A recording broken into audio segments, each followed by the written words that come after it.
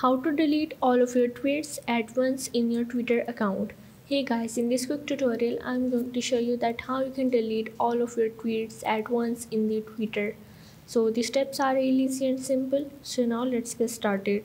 So first of all you have to open up your twitter application and from here you have to go in your profile icon and you have to click on your profile.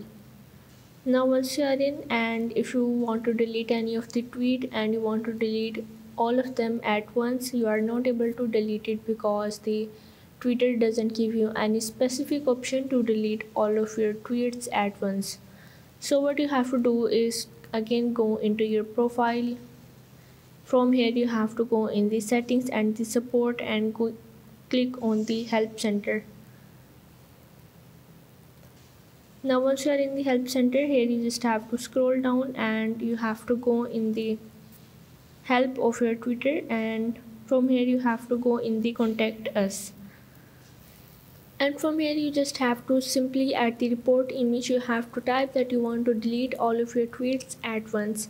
And after submitting your report you have to make sure that you add your username and your email address. And after that you just have to wait for the twitter to respond to your report.